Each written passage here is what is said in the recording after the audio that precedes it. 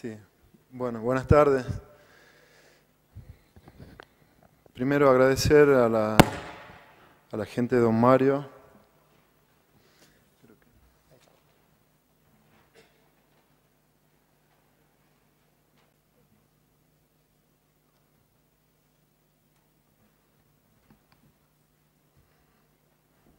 Bueno, agradecer a la, gente de Don Mario que, ha tomado el riesgo de, invitarme acá a, a darles la charla esta. Este, este se pasa, ¿no? Eh, bueno, no- el nombre de la charla, el título, digamos, me, me lo propuso Federico cuando habló conmigo eh, y me pareció interesante porque por ahí eso dispara algunas ideas. Este, y bueno, el, la- el nombre de la charla manejo de, de- de- manejo, digamos, maleza difícil en los sistemas productivos, a qué nos enfrentamos y las herramientas para su manejo. Él también me decía, cuando hablamos por teléfono, que eh, le gustaría que, que presente mi visión del tema maleza, cómo estamos hoy, cómo lo veo yo, por lo menos acá en la región. Y bueno, entonces hice, eso me, despertó algunas cosas, comparaciones, y, y bueno, me decía, tengo que verme de la manera que yo, que yo pienso para, para algunas otras situaciones, eh, y ahí voy a, voy a poder entender cómo, cómo estamos. Por ejemplo, este, yo tengo un problemita que soy, no soy el flaco Osvaldo Figueroa, en realidad yo tengo un flaco adentro, pero bueno, estoy con, con, unos- con peso de más, digamos, ahora no se dice gordura, hay que decir peso de más. Este, eh, y bueno, después de reflexionar mucho tiempo, hice algunos años de yoga y etcétera, eh, me digo, ¿por qué yo no tomo la decisión realmente de adelgazar? Este, porque me dicen que bueno que la gordura es mala, que me, me va a producir algún infarto, que sé yo, me va a tapar las arterias, el colesterol, los triglicéridos. Y bueno, he llegado a la conclusión de que no dejo, no, no bajo esos kilos de más, porque realmente comer me, me da placer, me produce endorfinas. Eh, y por otro lado, la, la gordura no duele, por lo menos hasta ahora no duele, por ahí la pancita molesta un poco, eh, pero bueno, lo mandamos al cinto un poco más abajo, o cuando me siento en el auto, por ahí me molesta la pancita, pero digo, ahora que por suerte vienen los asientos reclinables, entonces lo mandamos al asiento para atrás y manejo, deportivo, este, Schumacher me siento ahí. Este, pero el tema es que me va a llegar un momento en que la- realmente lo- los triglicéridos y todo eso me va a tapar las arterias y me va a producir un infarto. Y eso sí me va a doler. Según experiencia, yo conozco gente que le ha pasado y le duele mucho. Este, y ahí voy a tomar la decisión de dejar de comer los asados y todas esas cosas. Este, y ya va a ser medio tarde porque ya las arterias van a estar complicadas, digamos. Entonces me, me acordaba de una, de una fórmula que nos mostraba en la facultad este, de genética decía que el fenotipo es, este, digamos, el resultado, el- digamos, lo que uno ve de un, de un organismo vivo es lo que dice la genética de ese organismo más la influencia del ambiente. Eso es lo que veíamos, eso es lo que nos da el fenotipo. Entonces yo, ten- yo tendría un fenotipo que me va a venir un infarto, digamos, a los 90, 100 años, porque mi viejo, por suerte, tiene, está por cumplir 80 ahora, toco madera, y no tiene ningún problema de, de corazón ni nada. Pero bueno, si lo sometemos a un ambiente de exceso, mucho asado, abundancia de, de- todas esas cosas que, que engordan, pues son ricas, este, esas empanaditas que a comer hoy, y bueno, el infarto me va a venir a los 45, ese sería el fenotipo. ¿ah? Yo estoy en 41, que no parezca, ya me quedan cuatro añitos de cuelgo con usted, me voy al gimnasio, pero bueno, es probable que pase, bueno, con las malezas pasa algo parecido. Eh, nosotros tenemos herramientas que nos permiten trabajar muy bien, que es el caso típico de, la- de las RR, de las soja RR, que este, nos permitía trabajar con un herbicida altamente eficaz, que tiene muy baja probabilidad de generar resistencias, de amplio espectro, que uno lo puede aplicar en cualquier momento del crecimiento y desarrollo de una maleza y es muy eficaz. Este, pero con el manejo hemos ido logrando dos cosas. Si hubiéramos hecho un manejo concienzudo, con rotación de mecanismos de acción, este, etcétera, etcétera, podríamos haber dilatado la aparición de problemas eh, como ser, eh, eh, digamos, selección de biotipos resistentes o dejar el avance de malezas tolerantes y hemos forzado algo que podía quizá no llegar nunca a, por ejemplo, no solamente el tema RR, hace un poco más atrás de, que, de cuando llegaron las RR, nosotros generamos resistencia, el primer caso de resistencia en el país, que era Amaranthus quitensis, eh, resistente a inhibidores de ALS. Y lo generamos en muy poco tiempo, salió, se masificó el uso de los inhibidores de ALS, como ser Pivot, Scepter, usamos mucho acá en el norte, porque justamente era bueno para Amaranthus quitensis. Y en dos o tres campañas este, generamos una resistencia a estos inhibidores de, síntesis de ALS, digamos, de síntesis de, aminoácidos. Y después cuando llegaron las hojas RR, eh, solucionamos el problema, entre comillas, del, del Amaranthus quitensis, este que nos provocaba muchos problemas. Eh, realmente empezamos a ver campos realmente limpios. Antes era difícil ver tanta cantidad de campos eh, con, sin maleza, campos espectaculares, muy prolijo. Pero al quinto año más o menos se masificaron las, variedades de RR, eh, más o menos año campaña 98-99, por ahí. Este, y ya 2004, 2005 apareció, o no apareció, digamos, seleccionamos, que es la, palabra correcta, eh, ya sorgo de Alepo, o sorghum alepense, este, resistente a glifosato en el norte de Salta. Y así, bueno, eh, los próximos infartos van a ser seguramente la eh, resistencia a inhibidores de ACCasa, que es lo que se echó a mano eh, fácilmente cuando empezamos a tener problemas con glifosato, a un producto que sea poemergente y que controle las gramíneas que son eh, resistentes a glifosato, porque hasta ahora tenemos, la, mayoría de las, resistencias registradas son de gramíneas. Este, estos son mecanismos de acción, tanto ALS como ACCASA, son mecanismos de acción muy, que, son muy proclives a generar resistencia, mucho más fácil que un glifosato. Malezas difíciles, dice también el título de la charla, y me ponía a pensar también qué es una maleza difícil. Y bueno, todo depende de cómo lo veamos.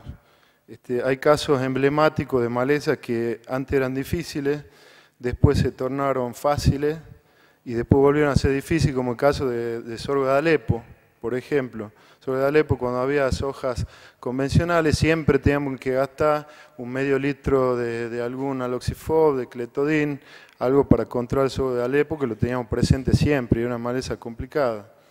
Este, después desapareció, porque el glifosato era tan eficaz en esa maleza, que con muy poco, con un litro y medio, dos litros, la maleza, el sorgo de Alepo desapareció.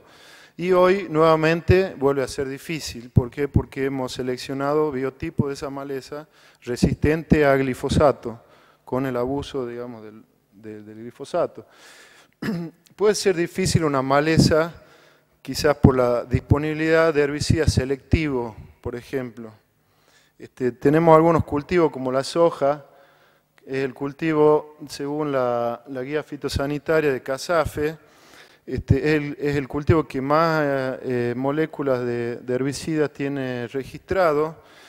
Figuran 41 moléculas, ¿no? No significa que sean este, mecanismos de acción diferentes. Esas 41 se resumen en 10 mecanismos de acción diferentes, solamente 10, es decir, porque acá hay muchos, muchos este, compuestos químicos diferentes, pero que actúan eh, de la misma manera. Por ejemplo, los ariloxifenoxipropiónicos o los ciclohexadienos son dos familias distintas, pero actúan en la misma enzima. Son inhibidores de ACCasa. Son los graminicidas. ¿eh? Entonces se resumen, también hay muchos inhibidores de ALS, pueden ser imidazolinona, sulfonilurea, eh. Se resumen, entonces de los 41 ingredientes activos químicos diferentes, se resumen en 10 mecanismos de acción, de los cuales actualmente, a pesar de que ya tenemos problemas este, de, de malezas tolerantes y malezas resistentes en los campos, estamos utilizando tres mecanismos de acción. ¿eh? O yo diría, mejor dicho, una, un, el glifosato más otro dos. ¿eh? Hoy hemos empezado a usar justamente inhibidores de, ALS y, y de ACCasa. Pero en cambio, por ejemplo, vemos algún cultivo alternativo, como por ejemplo chía, que se está haciendo mucho, se está generalizando mucho en el NOA, como rotación, no tiene ningún herbicida registrado. Estamos usando algunos por ahí pero no tiene ningún herbicida registrado. Y el principal eh, problema que tenemos cuando entramos con un, cultivo nuevo para rotar, para diversificar, es justamente la parte de maleza. ¿Por qué? Porque estamos acostumbrados a soja, que nos era muy, muy fácil, digamos, el manejo, entre comillas.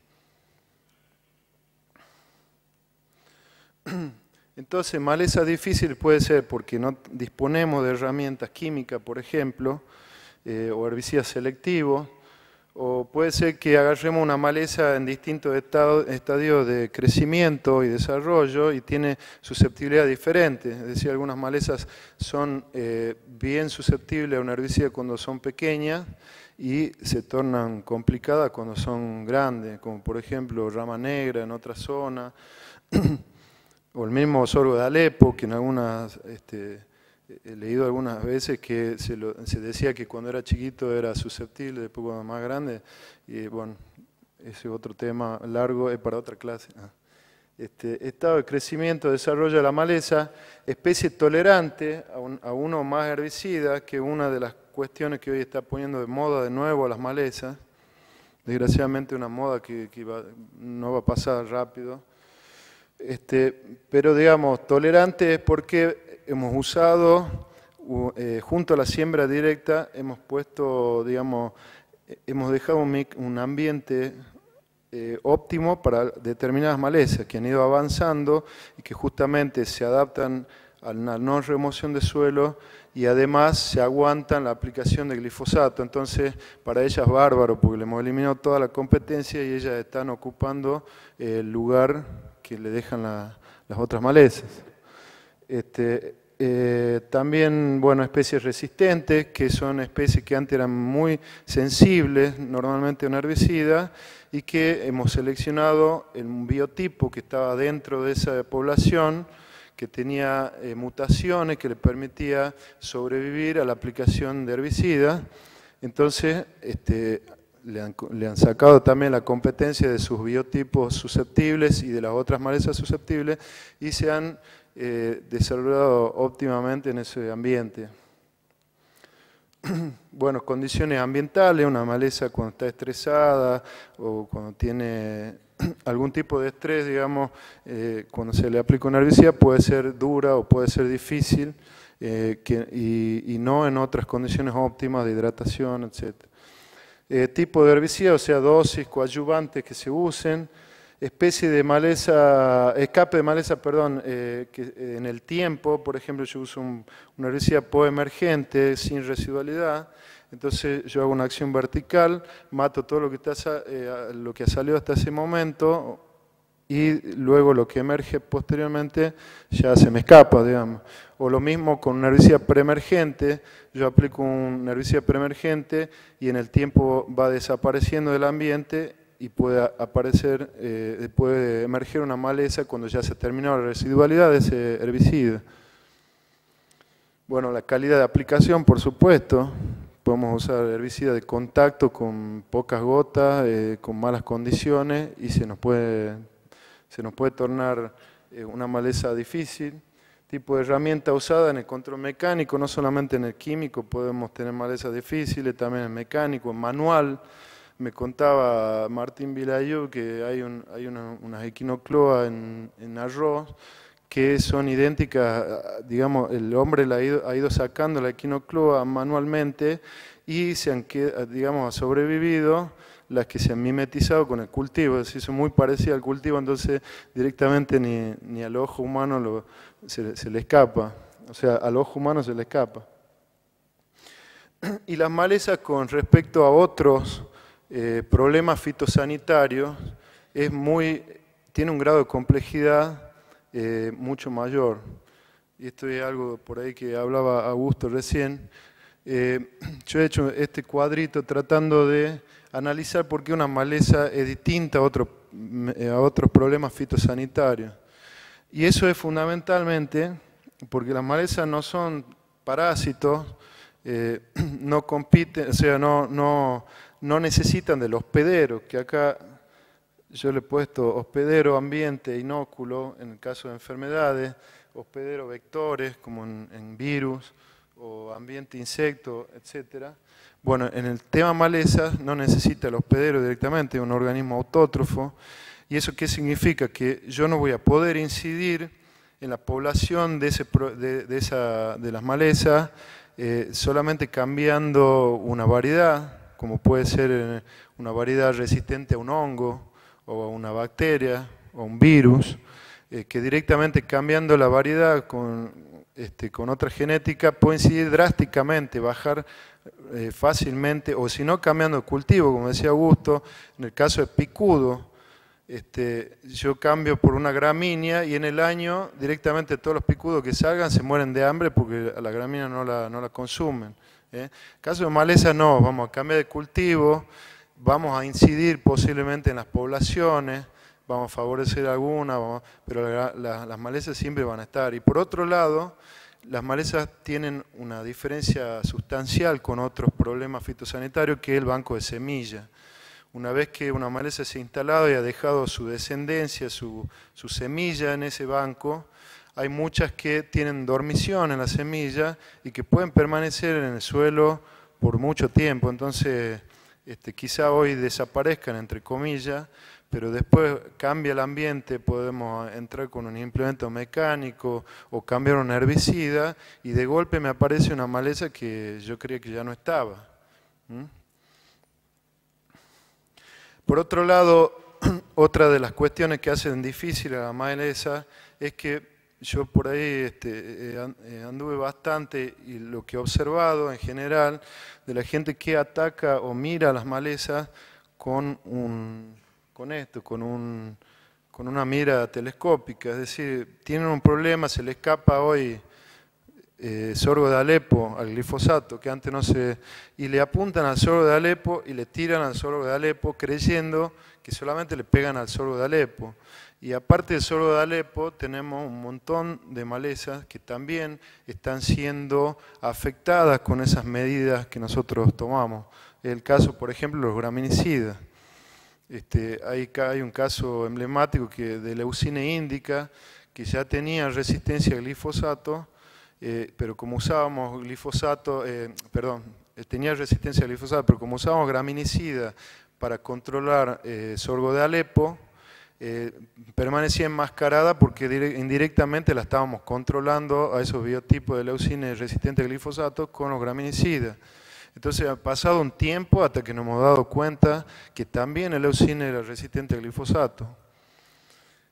Y el tema cuando vemos realmente el universo de las malezas, vemos que no solamente hay una, sino que estamos rodeados por un montón de malezas. En general hay una población integrada por eh, especies de distintos géneros, de distintas eh, especies.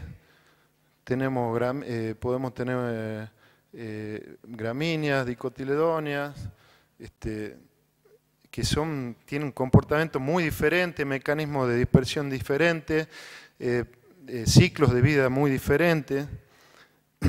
Y nosotros estamos incidiendo en todas esas, no solamente en la maleza, en la maleza, en el problema que tenemos y tratamos de darle la solución.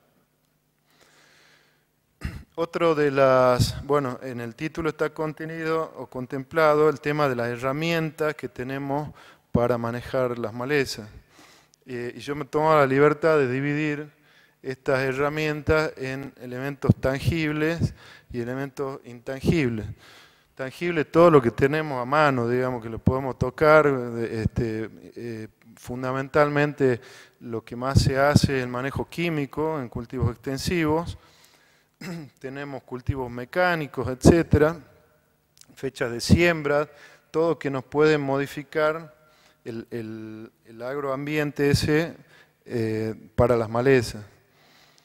Y después el otro elemento intangible, que es mucho más difícil por ahí de implementar, que es eh, primero el conocimiento. Eh, todos estos años que hemos estado trabajando, o sea, reduciendo toda la problemática de malezas solamente a dosis y momento de aplicación, si no, si me falla lo que he aplicado, bueno, le aumento un litrito más y lo aplico nuevo, porque total no me, no me va a mover mucho los costos, digamos, que era bastante barato. Entonces eso ha hecho que nosotros eh, no generemos conocimiento, sobre todo sobre malezas nuevas o nuevas en el sistema, digamos, malezas que son tolerantes, que se han adaptado a la siembra directa, por ejemplo, que no tenemos información de eficacia de otros herbicidas, por ejemplo, de cómo manejarlo, de los ciclos de vida. Entonces el conocimiento este lo hemos ido perdiendo y bueno, es algo importantísimo. La decisión, que es otra, otra cuestión, decidirlo, como yo le decía, de la gordura. Yo siempre decía que no, no hay personas malas ni buenas, sino personas que toman la decisión de hacer cosas malas y, o toman la decisión de hacer cosas buenas. Eso decía hasta que la conocí a mi suegra y ahí me doy cuenta que hay personas que nacen ya buenas, digamos, no se vaya a enojar. Pero tomar la decisión, eso cuesta mucho. Por ahí eh, no, no, no, significa costos este, altos en usar un herbicida preemergente, rotar mecanismos de acción. Hoy que los herbicidas son genéricos, han reducido mucho los costos, mucho los precios, perdón. Este, pero tomar la decisión nos cuesta y nos va a costar hasta que nos estemos en preinfarto o en infarto, digamos, que ya vamos a tener que salir a gastar muchísima plata para solucionar problemas, o si no, incidir con algún cultivo mecánico, cosas que no son buenas para el suelo, que tenemos que tratar de evitar. Y bueno, y después organización, por supuesto, los sistemas de alarma, eh, organizarnos, eh, conseguir el producto. Hoy es difícil conseguir un producto distinto a lo que es glifosato o lo que pueden ser unos ALS que ahora se están usando bastante usar, pedir, conseguir que la industria empiece a fabricar otros, otros productos en, en volumen como para que lo podamos usar, va a ser una cuestión de organización importante. De estos puntos tangibles, lo único que quería mostrarles un poquito del tema químico y este, biotecnología. No sé cómo estoy de tiempo, pero bueno, vamos a ir con el tema químico solamente quería mostrarle unos cuadritos que he armado que son bastante didácticos, que nos explican un poco cómo trabajan los herbicidas en general. Eh, acá tengo unos, gráficos del comportamiento de herbicidas postemergentes sin efecto residual eh, sobre, una población, sobre la población de una maleza.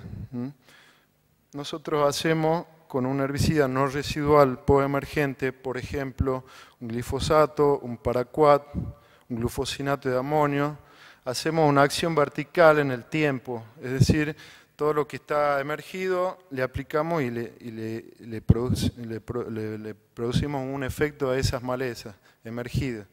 Luego, pasada este, la aplicación, lo que emerja nuevamente va, lo va a hacer libremente porque no va a quedar un efecto residual en el suelo. Entonces hacemos una aplicación en el tiempo, un efecto vertical. Ahora la maleza va a depender del tamaño eh, que tenga en el momento de la aplicación. Cuando es muy pequeña, por lo general, hacen una curva de, este tipo. Cuando son muy pequeñas son más susceptibles que cuando van avanzando en su crecimiento, ¿ah? hasta que hacen un plató. Por supuesto, esta curva es una curva promedio dentro de una población de maleza, hay distintas susceptibilidades de la maleza, ¿eh? entonces puede ser una nube esto, pero bueno, lo graficamos con una, con una curva, una línea que podría eh, mostrar la media, digamos, poblacional. cuando lo llevamos a varias especies, que es lo que yo le decía, cuando aplicamos, no lo hacemos solamente en una especie, lo hacemos al barrer en, muchas especies, las que estén presentes. Entonces tenemos curvas de distintos tipos, depende de las malezas. Por ejemplo, esta es una, curva típica, puede ser eh, con una pendiente diferente, puede ser muy sensible, por ejemplo, con la dosis que estamos aplicando estamos ampliamente superando los niveles de sensibilidad de esa maleza. Y por lo general este tipo de maleza tiene más eh, probabilidad de generar resistencias, porque siempre tienen algún alguna mutación por ahí que, puede, que podemos estar seleccionando que esté aquí por arriba. Siempre algún puntito que se nos dispara ahí. O puede tener esta, esta disposición, por ejemplo, acá podemos estar hablando de faralcea, triclórico, conisa, por ejemplo, que cuando son chiquitas son muy sensibles, pero rápidamente cuando toman, eh, eh, digamos, altura o envergadura foliar, eh, pueden eh, aumentar su eh, resistencia o su tolerancia al herbicida, no resistencia, su tolerancia al herbicida. O podemos tener esta curva de una maleza, por ejemplo, tolerante o resistente, que esa, la dosis normal directamente no, le hace nada. En el caso de las tolerantes nunca le hizo nada a la población, caso de resistente quizá estaba por acá y alguno de los, de los, de los, biotipos que tenía la población eh, fue seleccionado y quedó en esta curva. Después cuando vemos el comportamiento de herbicidas preemergentes, residuales, este, ya el grado de complejidad aumenta, digamos.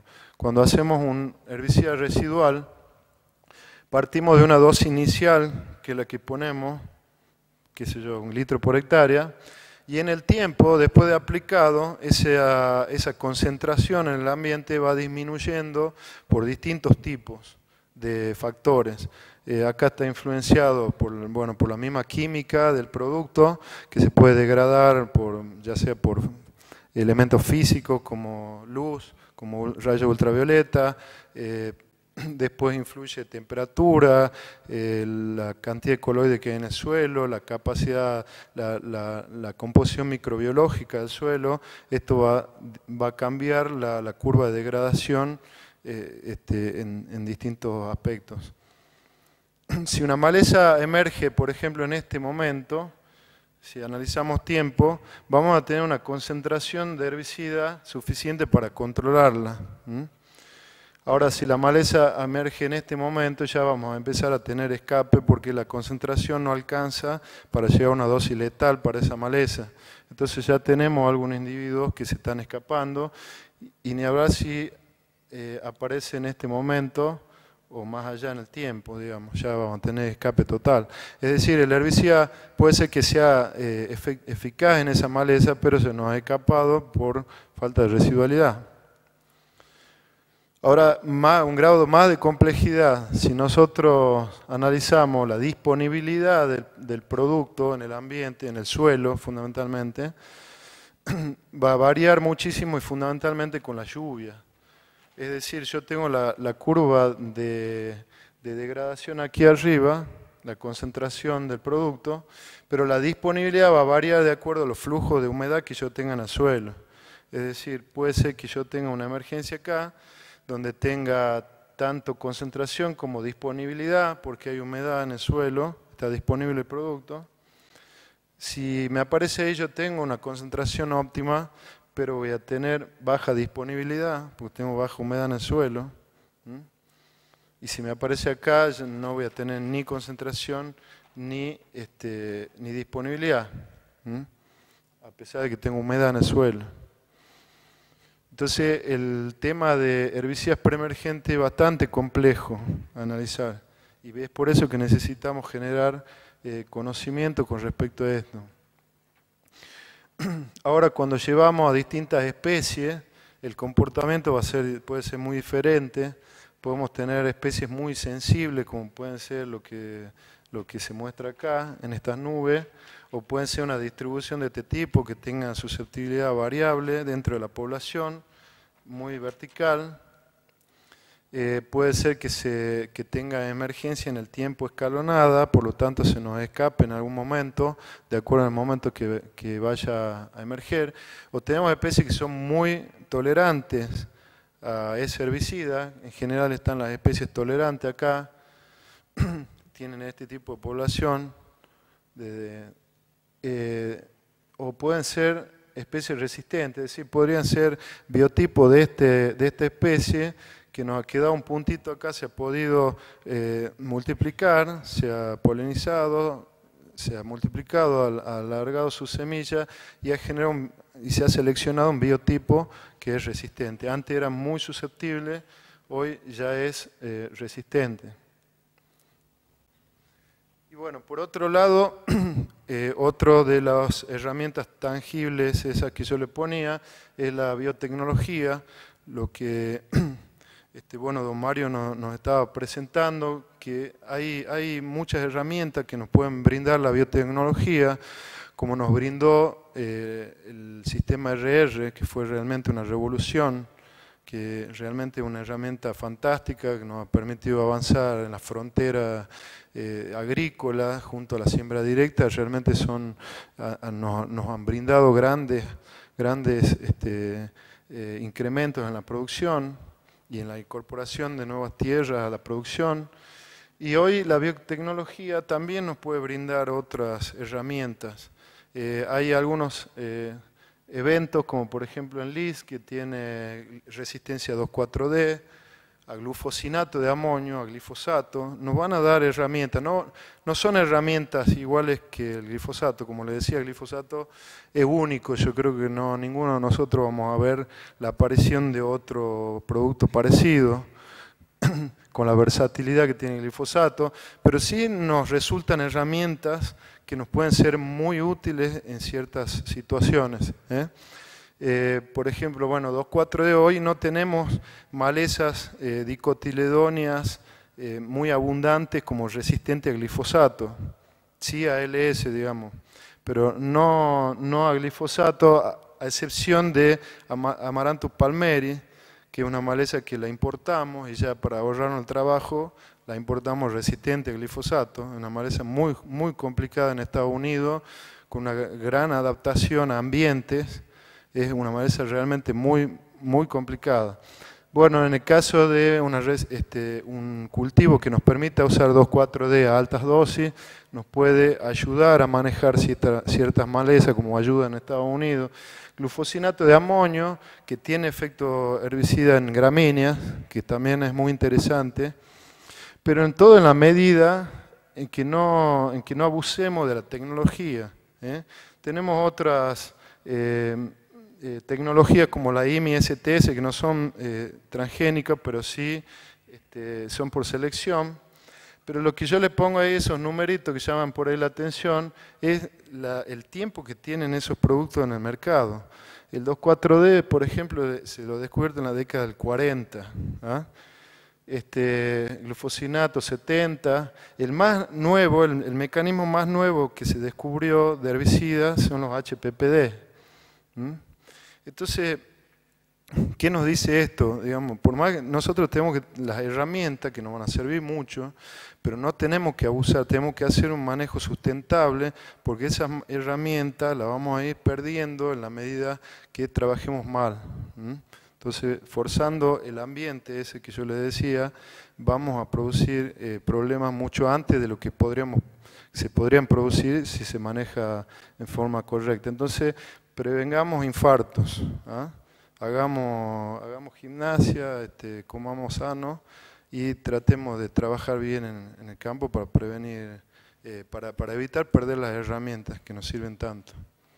Así que bueno, eso Creo que estamos bien con el tiempo. Bueno, gracias.